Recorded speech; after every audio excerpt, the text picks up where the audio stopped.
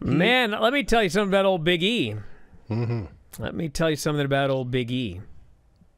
The other match we watched, well, we watched 2 mm-hmm. Uh, but one of them, I actually watched the main event first. I watched the Sasha match first. And then it just felt like, you know, oh, I haven't seen Sasha Banks in a while. Here's a match with Bianca. We'll talk about that in a moment. But it felt modern enough. And then I turn, I tune on, uh, I tune into the start of the show, and it is Drew McIntyre versus WWE champion, champion Bobby Lashley. Now, keep in mind, Roman's on what, 1,400 days of champion or whatever? Sure. So to see someone else as champion, I was like, wow. Bobby Lashley was the champion. And I started thinking, like, Bobby Lashley was a WWE champion, huh? Who the fuck did he win that title from? I have, I have virtually no memory of this whatsoever. Well, the answer is, for those of you wondering, keep in mind, this was this was when my mind really started to melt. This was three years ago, not 13 years ago, not 20 years ago, not even like seven years ago. This was three years ago, 2021, less than three years ago.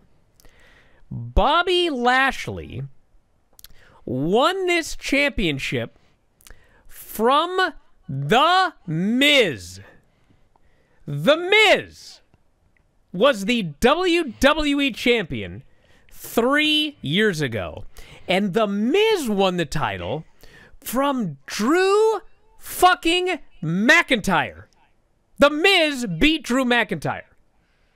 If you recall The Miz's title reign, which I, I actually remember that one, because I could not fucking believe that they gave The Miz the WWE Championship in fucking 2021.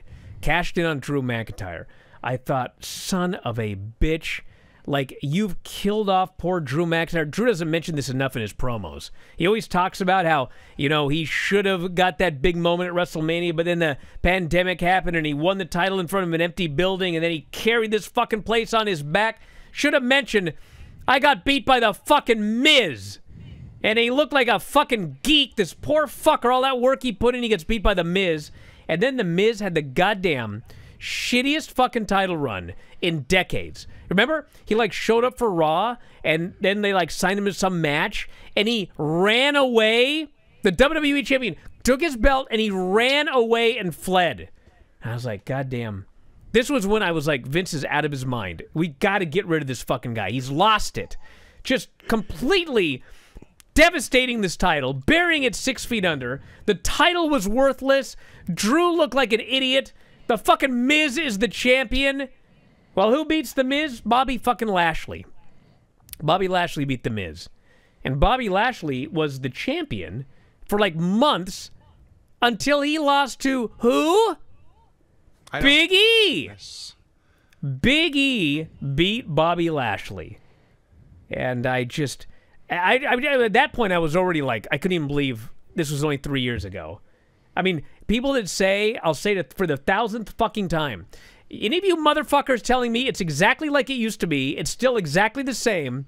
Fuck off. It's not. Look at the shit they do today, protecting their titles and protecting their champions. And look back three fucking years ago when The Miz is running for his life as a WWE champion because he's afraid to wrestle. Fuck me. So then, watching this match. I'm like, who the fuck is that on commentary? That guy sounds familiar. And then one of the announcers says, You're right, Joe. And I went, Samoa fucking Joe. Yeah. The AEW World Heavyweight Champion today was doing commentary. Commentary at WrestleMania. He was a commentator. They were like, oh, this guy, you know, fuck, he's old. He just, nah. Oh, a big feud with Brock. Ah. You know what he needs to do? Commentary. Let's retire him and put him on the mic. Samoa Joe is doing commentary for the guy that beat The Miz for the World Heavyweight title versus Drew McIntyre in the opener at WrestleMania. Holy shit. And the match was like good. Lashley beat him clean with the hurt lock. I got no, No. problem with the match. Eh, sort of. The but match was Christ. crazy. Fuck. Yes, I agree. The environment is the craziest part of all. The match is like the biggest cruiserweight match you ever saw. We're looking at close to 600 pounds of meat in this ring, and they were flying all over nonstop. And it's not a sprint. It was like 18 minutes, and they never slowed down. And every time I thought they were going to slow down, like Bobby hit a big spine buster, I thought, okay, finally we have the heat. No, Drew's making a comeback and firing up a minute later. And then Bobby's firing up and making a comeback a minute later. They're going a thousand miles an hour. Now, what you didn't mention in all this insanity, this is also the first match with fans back after the pandemic. That's right. These people got a lot of pent up energy. And it's Yeah. a half full building for, for reasons, Less. I think it was like 20,000. but man, they were jacked. And They were screaming- jacked. They're like masks everywhere. Yeah. And they're screaming and they're in everything is going just wild. And here's what they did for the finish. Drew has escaped the hurt lock. He has taken the best that Bobby Lashley has to offer and kicked out of it, escaped it, got out of it. He has him set up for the Claymore, his big move. He's gonna kick this big dude's head off and pin him and win the title. He's the babyface. Everyone's gonna be happy. MVP is in the floor. Says, Lashley. Yeah. Drew stops. He stopped. By the time he goes, Lashley cuts him off, puts him in the hurt lock. Drew puts up a struggle, and then goes out clean. What? That's the finish to your first match with fans in a year? Yeah. The opener to Mania? You don't give them the big giant cheer? No. Okay. No.